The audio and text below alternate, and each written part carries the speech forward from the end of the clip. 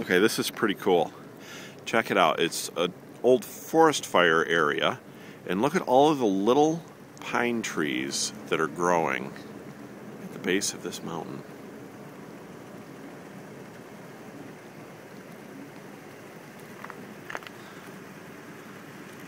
It's really, really cool. Bill's head.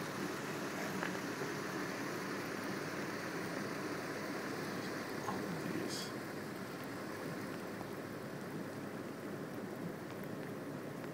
We got some kind of a huge mountain in front of us.